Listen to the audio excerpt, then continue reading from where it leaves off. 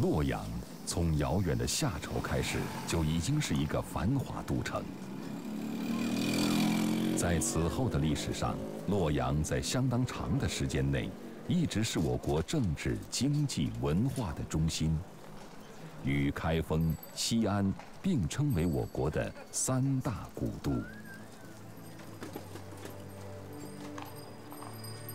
但是，很多人并不知道。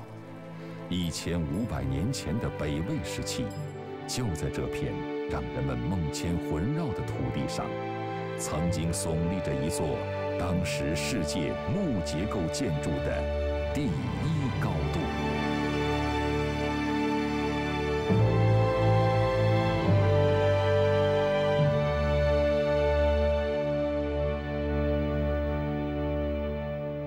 一九六二年。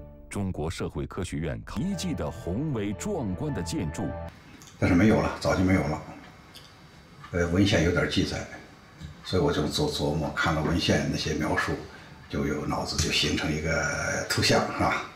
就学建筑嘛，总在设想它原来应该什么样，应该什么样就猜。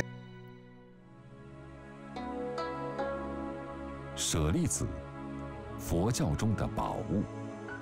相传，只有佛祖和得道高僧才有可能出现舍利子现象，而这颗牙齿舍利子更是难在黑暗中举起探索的火炬，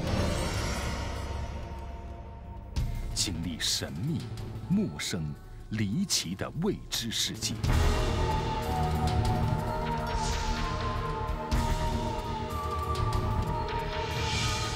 科学纪录片栏目。发现之旅，总有扑朔迷离的故事。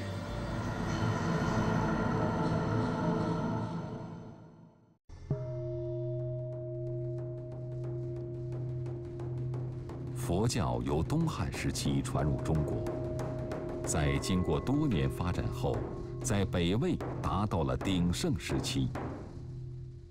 北魏在建立之初就已经对佛教十分崇尚。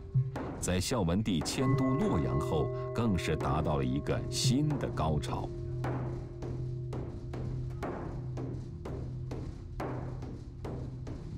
因为北魏时期皇家对佛教的重视，使得都城洛阳城内的佛寺已经达到三万多所，僧众两百多万人。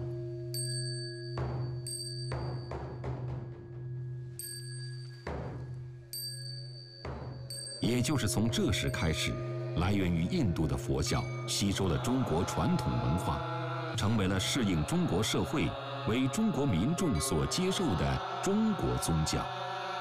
佛教逐渐在民间流传开来。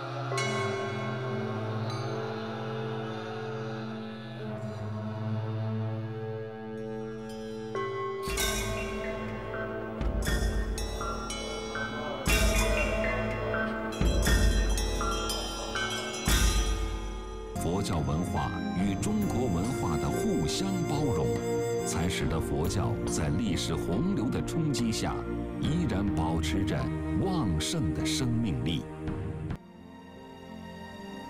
随着时间的流逝